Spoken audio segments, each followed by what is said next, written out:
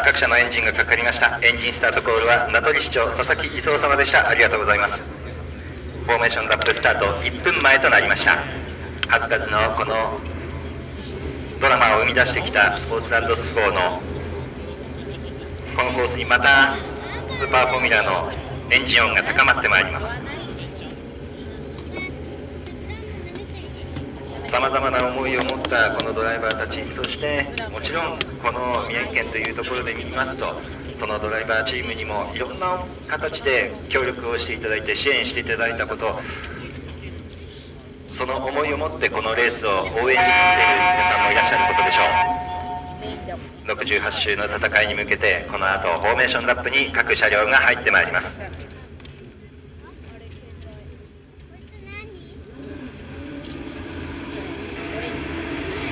さあグリーンフラッグが振られてフォーメーションラップに各車両が入ってまいります。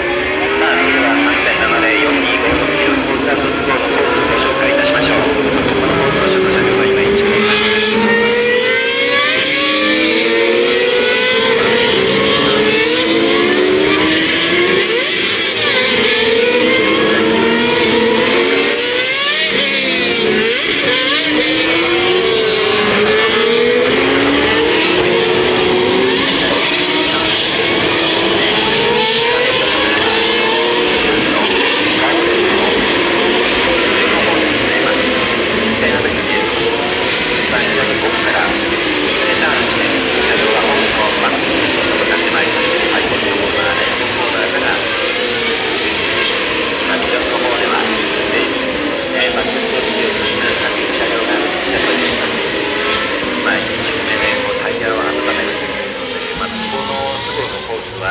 ま全体の一般的なね、まあ、一般的なというか他のコースに比べると若干距離が短いので1周だけで温めきれないというそういう傾向もあるので、まあ、ウェービングをかなりやってるというそういうところになるようですね。さあマシンのセットアップが決まってるかどうかというところのその SP インコーナーが今映し出されております。1つ目の左コーナーです。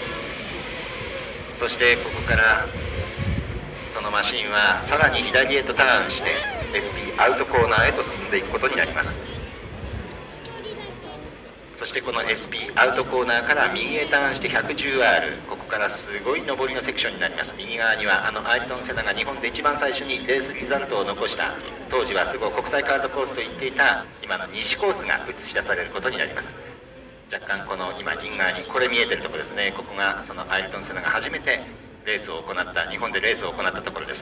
そしてその上り勾配10%から今メインストレートダンロップブリッジをくぐってグリッドに戻ってまいりました。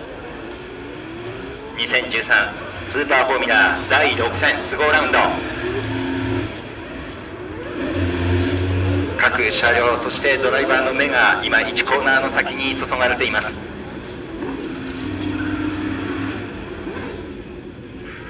ポールポジションのデバルそしてその後方の山本そしてペトナスの2台。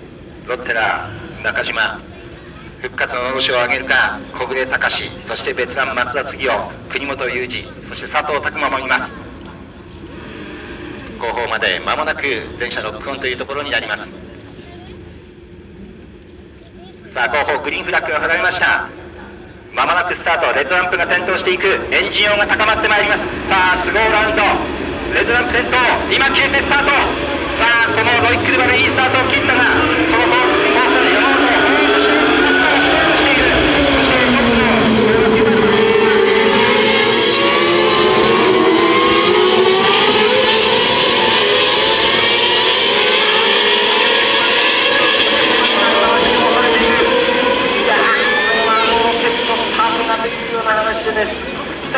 んですがマシンがまだ今電気プレートを掘っています